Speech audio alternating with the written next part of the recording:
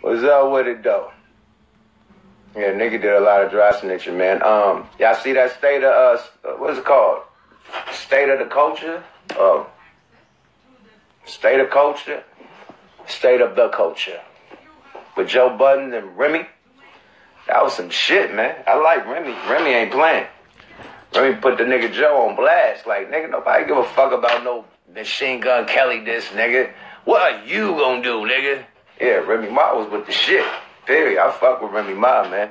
And Joe was like, yeah, that bullshit album. They're like, no, that shit is hot. no, you think it's bullshit because he dissed you, nigga. So, my thing is this, man. Is Joe Budden afraid to respond to this nigga? Because you gotta add it up. This nigga dissed you, says your name on a video, said you, the nigga says you had, you've been smacking bitches, said something about your, you know, spousal abuse, whatever, you, you know, allegedly happened back in the day. Nigga, Drake did some, like, subliminals that nobody caught but you and him. You know what I mean? You had to explain, like, well, shit, I heard this, uh, the snippet song way, way back after I uh, dated some girl, and uh, nobody knew all that shit.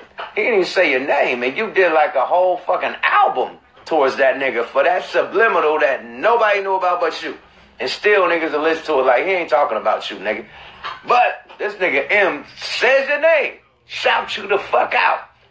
Bring it to the table, nigga. And you like, yeah, man, well, uh, somebody got to say something real. What? Nigga, Drake said some subliminal shit and you roll with it. Like, you was obsessed with Drake, nigga. You was going like back to back. Nigga, like, if he went back to back on Meek Mill, nigga, you went like back to back to back to back. Nigga had like seven discs on it, like an EP. They got a fucking EP against Drake.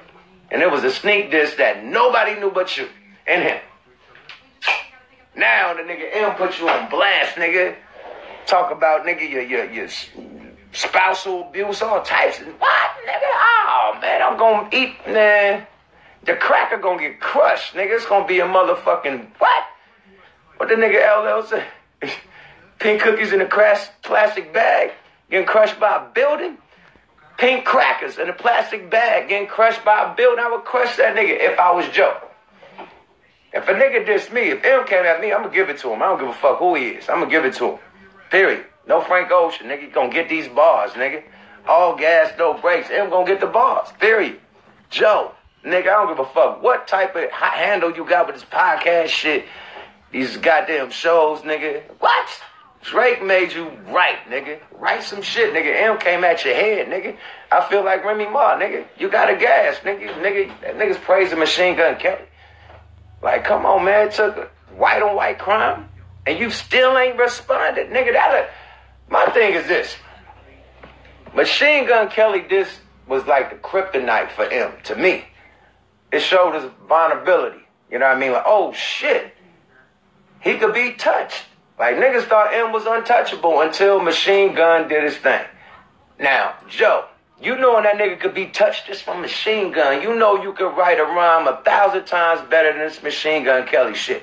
That'll really annihilate a motherfucker. You over here like, yeah, man, I want somebody to say something. He said something, nigga. He said more than Drake.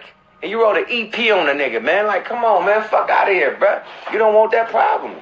Motherfucking uh, Remy Ma say you pussy, you scared because you know he'll fuck you over. Period. It is what it is.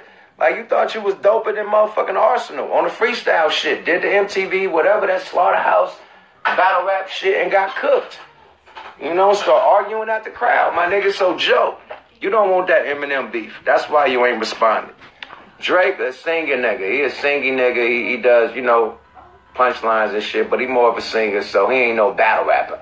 M is a fucking battle rapper that come from the battle rapper cloth, nigga. You know what I mean? Nigga, his first group was from New Jersey, nigga, the Outsidaz. Niggas out there with Redman and them, nigga. That's how he, you know, that's how he get his style a little bit from Redman, you know what I mean? Cause he was part of their group, nigga. So he come from the shit where you had to spit, Joe. He's right, he's out there with you. You know he was out there in Jersey. You heard about him being in Jersey when you was a little boy. You heard about that white boy with the Outsidaz. You dig? So at the end of the day, my nigga Joe, you ain't ready for that type of lyrical uh, worse, that battle. You weren't ready for Crooked I. He's like, yo, I gotta get prepared for you. Like, no, nigga, I'm ready. Nigga, Crooked I would have said that shit to me. I love that, man. That's my guy.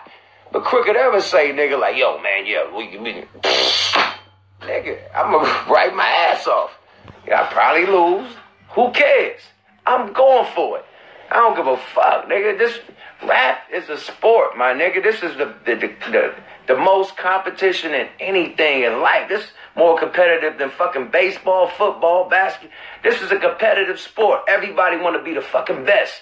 So when a nigga call you out on your game, nigga say, "Oh, nigga, you ain't nigga. I got a better three pointer than you.